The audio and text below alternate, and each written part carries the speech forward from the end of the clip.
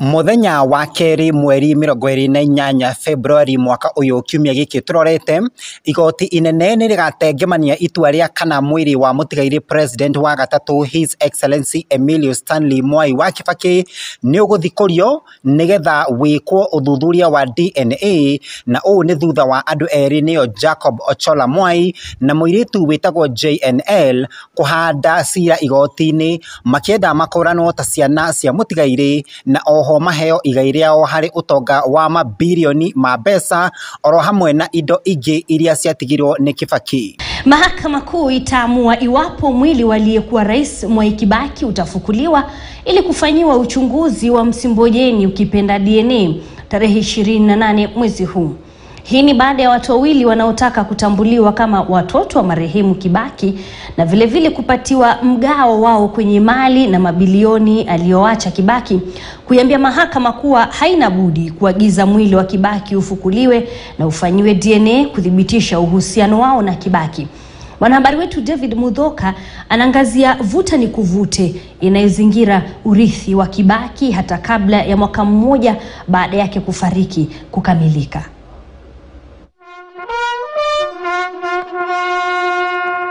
Miezi tisa tu baada ya aliyekuwa rais Mwai Kibaki kuzikwa nyumbani kwake Othaya, kaunti ya Nyeri, mwili wake huenda ukafukuliwa iwapo mahakama kuu itakubaliana na watu wawili wanaotaka mwili wa Kibaki utolewe mchangani na DNA ifanyike kuthibitisha kuwa Kibaki alikuwa baba yao. Wawili hao Jacob Ochola Mwai na mwanamke anayefahamika tu kama JNL wanasema kuwa wao ni watoto wa Kibaki na kwamba wana kila haki ya kupata mali na mabilioni ya pesa aliyowacha Kibaki kwa wanawe na wajukuu wake. Vinginevyo, Ochola na JNL wameitaka mahakama kuu kuamuru watoto wanne wa Kibaki Judy Wanjiku, Jimmy Kibaki, David Kagai na Anthony Githinji kujiwasilisha kufanyiwa DNA ili vile vile kuonesha uhusiano kati ya wanne hao na Ochola pamoja na JNL. Wawili hao wameiambia mahakama kuu kuwa walitemwa nje ya urithi wa marehemu Kibaki kimakosa na kwamba wanadamu moja na Kibaki ijapokuwa kuzaliwa nje ya ndoa. Kwenye hati kiapo zake kwa mahakama, jnl anasema mamake na marehemu Kibaki walipatana walipokuwa wanafunzi katika chuo kimoja Uingereza mwishoni mwa mwaka elfu moja kenda mia na hamsini. JNL anasema usuhuba kati ya mamake na Kibaki uliendelea hata waliporejea nchini na hata Kibaki alimtembelea yeye na mamake hospitalini alipozaliwa Disemba mwaka 1961 takriban siku kumi na sita kabla yake kufunga pingu za maisha na marehemu Mama Lucy Kibaki. JNL anayesema kuwa cheti chake cha kuzaliwa kina pengo kwenye sehemu ya baba mzazi, anaongeza kuwa alisoma katika shule moja Hospital Hill na watoto wote wa Kibaki kwa miaka saba na kwamba kando ya kuwa marafiki walijuana kwa karibu. Aidha, JNL anadai kuwa baadaye pia alisoma na mwanawe Kibaki Wanjiku nchini Marekani na kwamba walikuwa marafiki.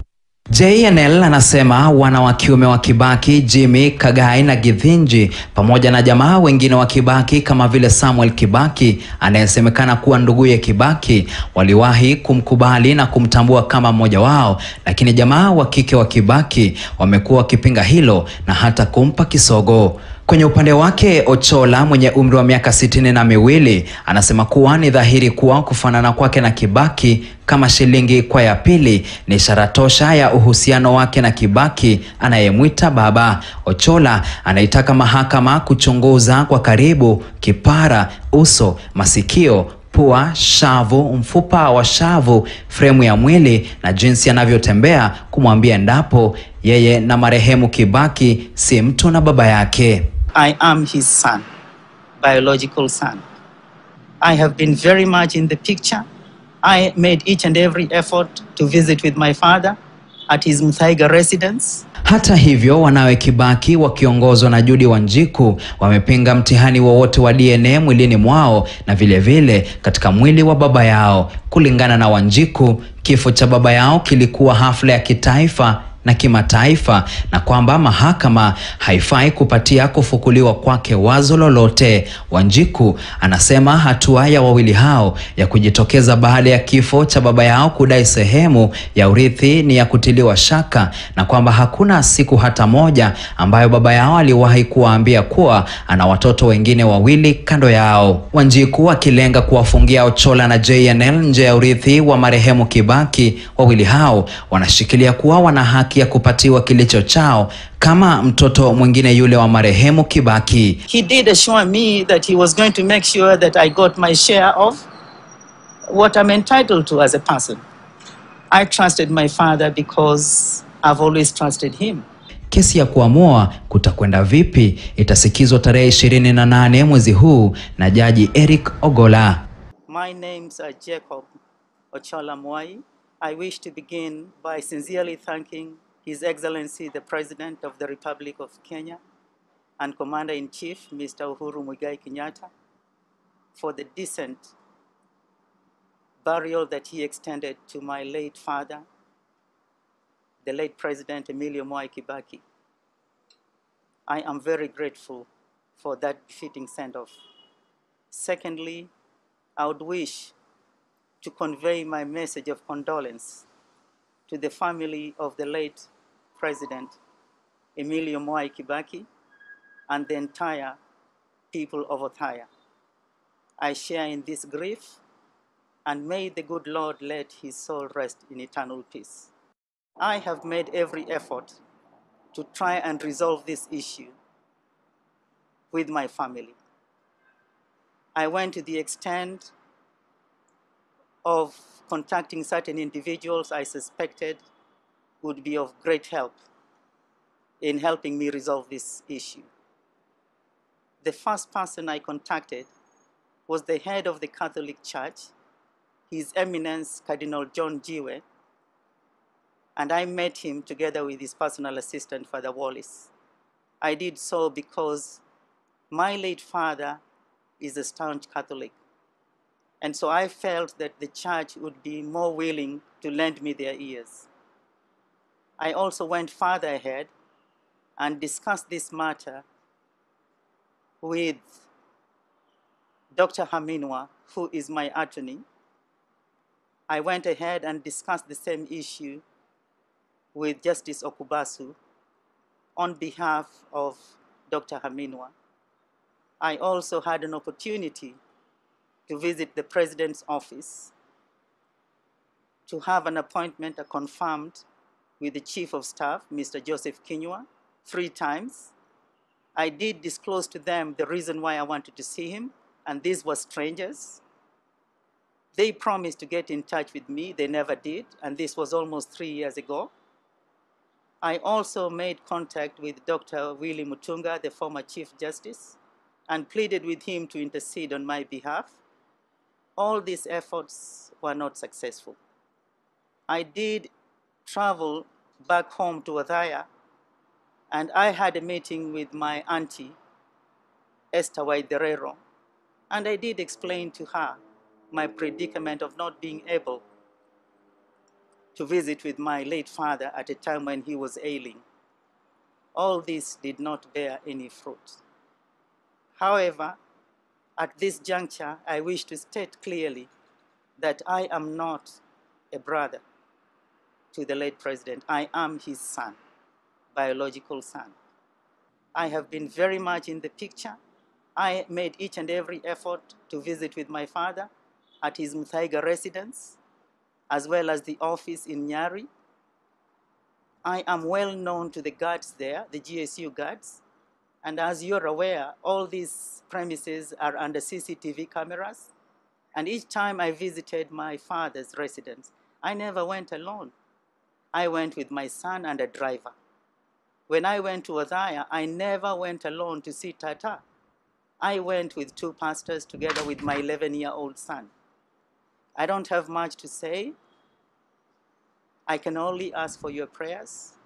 I believe in prayers. I did listen to the two bishops during the Mass for my late father, and the messages were touching. And I believe that those prayers will be answered.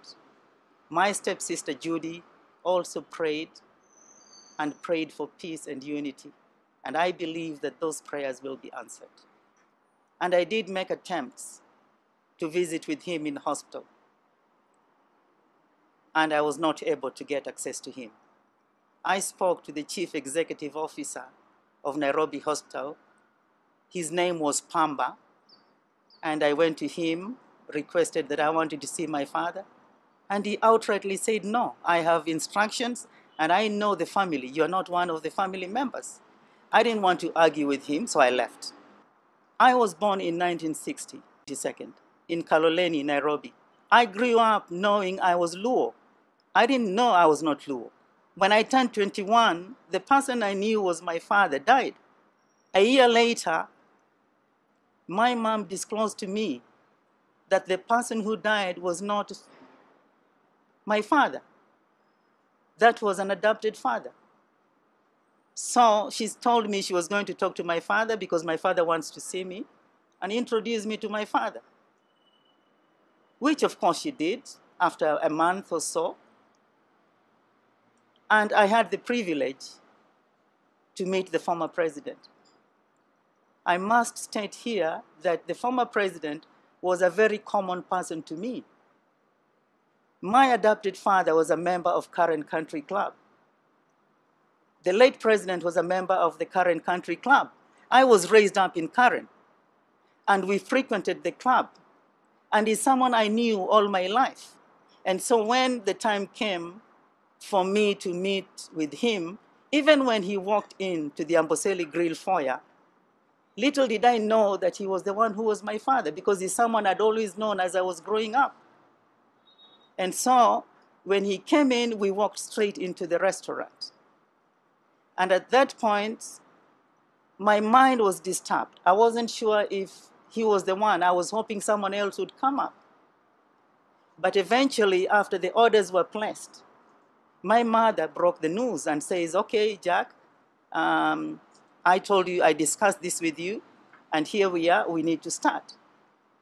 Then I realized this was my father. And indeed, she said, Jack, as I told you, that was not your father. That was your adopted father. This is your biological father. And my father responded, Yes, Jack, we don't want to subject you into a lot of injustice. It is important that we let you know the truth. We are your parents, and it is better for you to hear from us rather than getting it from the, uh, the public domain. And from that day on, on the 21st of June, 1982, I knew that Emilio Mwai Kibaki was my father. It has not been easy for me, having grown up and speaking Luo and knowing that I was Luo, only to realize 22 years later that I am not Luo. I was only raised up by a Luo who loved me so much and gave me the very best. I am what I am today because of that adopted father. When my late stepmother passed on, I was at Consolata Shrine and I met Daddy. And he was very grateful that I went there and attended the funeral service. I did reject the offer to go to Othaya because I was traveling to Ethiopia. After then, I met Daddy several times at the Nyari office, number seven, and I had discussions with him. He did assure me that he was going to make sure that I got my share of what I'm entitled to as a person. I trusted my father because I've always trusted him. So, someone who is going to ask, Where have I been all this time? There has been a lot of events. I have gone to three law firms with this matter so that I could get recognition. I've been home three times to Othaya, and I met my auntie, the only living auntie that I have now. And she told me she could not help me because she can also not access daddy. And so she was very welcoming, but her hands were tied. There's no way she was going to help me. So these are efforts that I have made. But to answer you in short, Mzee was a person I interacted with, and not only in private, but even in public. I was manager Mombasa Beach. And Mzee used to come. Mzee has a residence right adjacent to Mombasa Beach. But for him to access Mombasa Beach, he had to travel three kilometers to come to Mombasa Beach. During Easter and Christmas, he would come, and I would sit with Mzee for two to three hours. People didn't know who I was, and people were wondering, who is this sitting, this old man for so long? And what I'm saying was in the public domain. All the staff in the hotel knew who the person was. He was a vice president. And so they didn't know what the relationship between me and him was. And I didn't disclose to them. I didn't see the need to disclose to them who this was.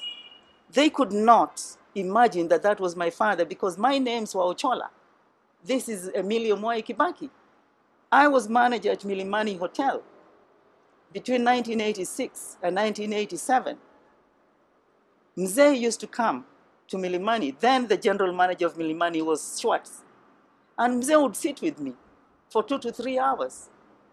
And so the general manager was grateful that here is someone who spends time, who can bring in the vice president as a customer, and he visits us very frequently who spends time, who can bring in the vice president as a customer, and he visits us very frequently.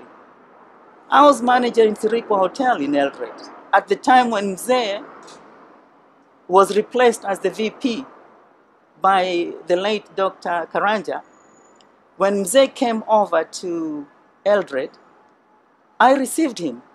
I was the front of house manager, so that any dignitaries had to, I had to welcome every dignitary and make sure that their check-in process was up to date. Literally would have to do the registration form and all they would do is append their signature. It is me who took daddy to his room. Under normal circumstances, daddy had been to Sirikwa Hotel prior to that.